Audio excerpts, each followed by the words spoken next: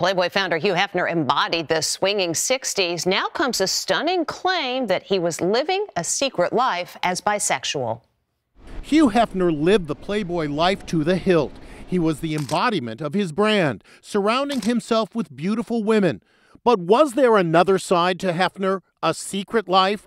Was he in love with another man? In my opinion, this was sort of the love of Hef's life, the love of my father's life. Jennifer Saginor says she knows this because she lived at the Playboy Mansion from girlhood until she went to college.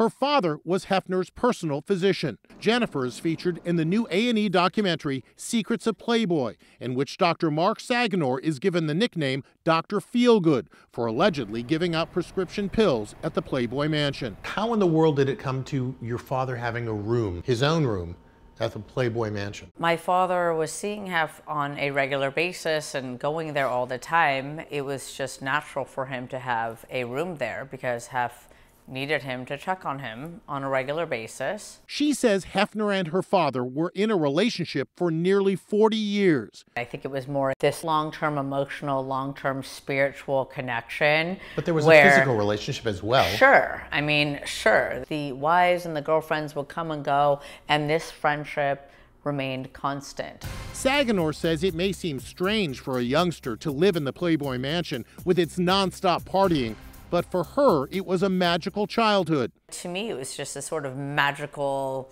environment, exotic animals and you know gumballs everywhere and m&ms and once i was actually living there you know the butlers would make my lunch in the morning and Hef's limo would drop me off at school. But for saginor there was also a dark side to life at the mansion. She says she was introduced to drugs at an early age I found my first joint in the game room at age 11. Jennifer Saginor says her father was at Hugh Hefner's side when he died in 2017 at age 91. Was your father the only person there?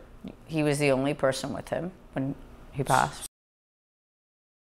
Dr. Saginor tells us accusations that he was a doctor feel good or ludicrous, adding he's always been very careful with appropriate prescriptions.